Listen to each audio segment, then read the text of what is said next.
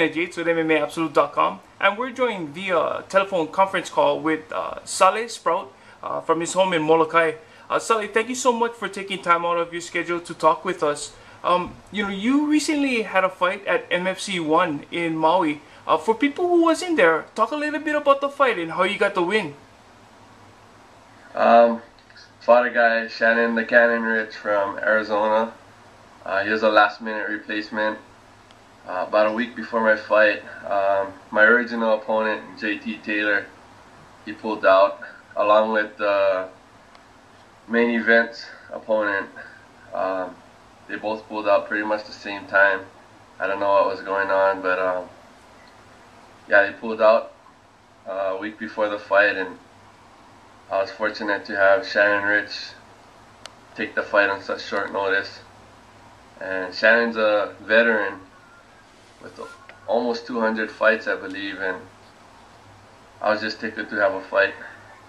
Now, for you, be, because your original uh, opponent uh, pulled out for whatever reason, did that kind of you know throw you off a little bit, uh, you know, on, on, your game plan and stuff like that? Um, not so much the game planning, but it definitely has. It definitely plays a, a huge part in your mental game. And then um, your opponent that, that you ended up uh, fighting, uh, you know, as you said, he has uh, just about 200 fights, maybe more. Uh, mm-hmm. You know, huge veteran, well-known fighter. Um, were you surprised that you know you took him out so quickly?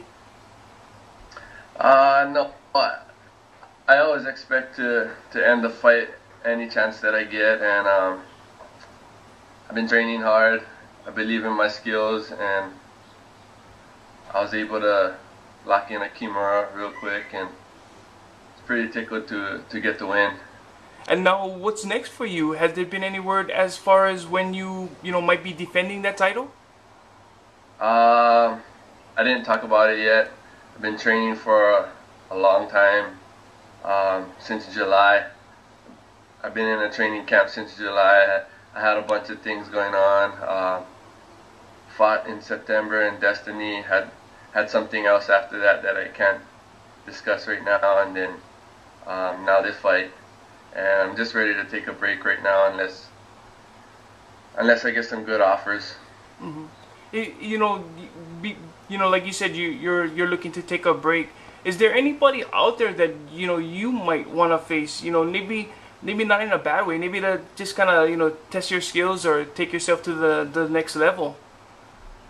Uh, just anybody. Um, I don't really want to fight any more Hawaii guys. Um, anybody out of state.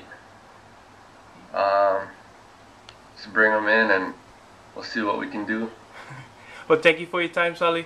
In closing, is there anything you would like to say to anybody that might be watching this? Any shout outs or anything at all? Yeah, all, all my friends and family, um, all my sponsors, Hawaiian Fight Gear, Badass Kennels, um, KMK Services, um, Cool Core Printing um, eye candy, all the Molokai people. Um, yeah, that's pretty much it.